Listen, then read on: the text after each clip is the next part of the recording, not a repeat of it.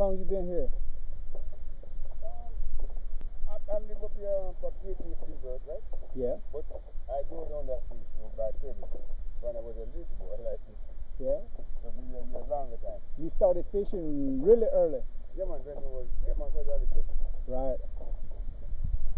So you like bringing people out here? Yeah, bring people up here Oh, yeah, you like that. yeah, You're good at it. You're good at it. enjoy them here. Yeah. So when you come to Jamaica, man, and you check out where Kimberley has her business, I'll face you- I'll face you this way. and when you come to Jamaica, you can call, and uh, he'll bring you out here. Say your name. Say your name. Alfred? Alfred. Alfred. Yeah, and he'll be your guide to this reef.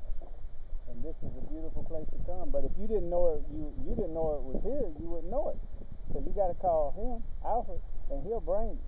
And we're gonna make sure y'all can find him because we're gonna put the numbers for finding him, his guiding service here in the box. So y'all check him out, and you'll come out here and you'll see this kind of stuff.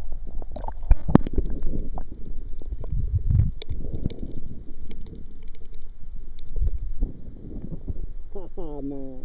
You're good at. Yeah, man.